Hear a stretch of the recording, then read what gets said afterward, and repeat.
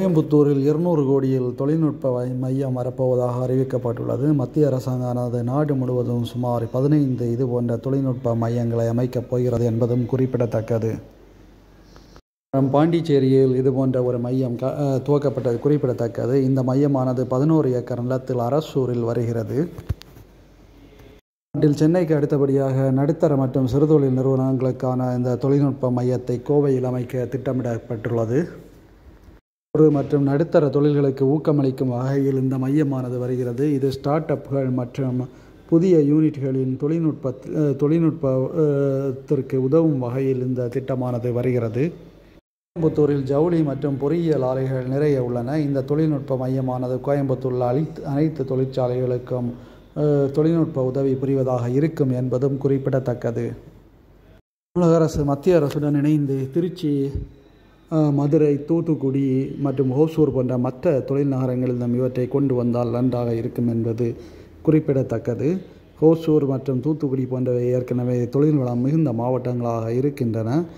மதுரை திருச்சியிலும் ஓரளவுக்கு சிறு குறு நடுத்தர தொழிற்சாலைகள் உள்ளன என்பதும் குறிப்பிடத்தக்கது. எனவே மதுரை திருச்சி தூத்துக்குடி ஹோசூர் போன்றவற்றில் கொண்டு வந்தால் தமிழ் ஓசூரில் கொண்டு வரும் தொழிற்சாலைகள் மூலமாக தமிழ்நாட்டின் வட வடமேற்கு பகுதியில் உள்ள நிறுவனங்களுக்கு தொழில்நுட்ப உதவி கிடைக்கும். தென்பகுதியில் உள்ள நிறுவனங்களுக்கு சென்னை மற்றும் சென்னை மற்றும் தூத்துக்கு மதுரை மற்றும் தூத்துக்குடியில் உள்ள தொழில்நுட்ப மையங்களின் வாயிலாக கிடைக்கும் என்பது குறிப்பிடத்தக்கது.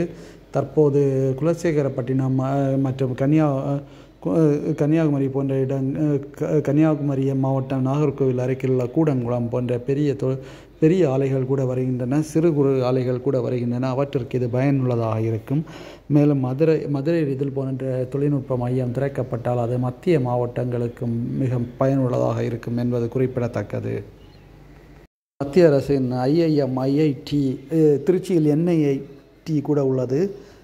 அதாவது மேலாண்மை மற்றும் பொறியியல் சார்ந்த படிப்புகள் சென்னை திருச்சி போன்ற நகரங்களிலே உள்ளன.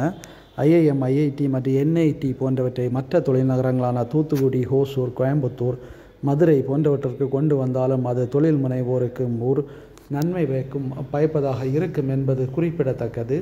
இது இருநூறு கோடி என்பது நல்ல ஒரு முதலீடு ஆகும்.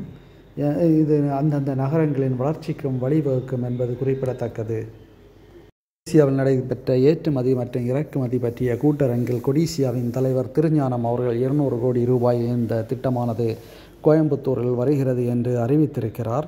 கொடிசியா போன்றும் த தமிழகம் முழுவதும் உள்ள முக்கிய நகரங்களில் கொடிசியா போன்ற ஒரு அரசங்கு ஒரு அரங்கு அமைத்து ஏற்றுமதி இறக்குமதி தொடர்பான எல்லா உதவிகளையும் வழங்கினாலும் நன்றாக இருக்கும். அதுவும் தமிழ்நாட்டில் உள்ள அனைத்து நகரங்களுக்கும் பயனளிப்பதாக இருக்கும். குறிப்பாக தற்போது முக்கிய நகரங்களான மதுரை மதுரை தூத்துக்குடி போன்றவற்றில் துவங்கி பின்னர் அனைத்து மாவட்ட தலைநகரங்களுக்கும் வி விரிவுபடுத்தி இது போன்ற ஏற்றுமதி இறக்குமதி கரந் கருத்தரங்குகளை கொடுத்தால் ஏற்றுமதி இறக்குமதி அதிகரிக்கும்.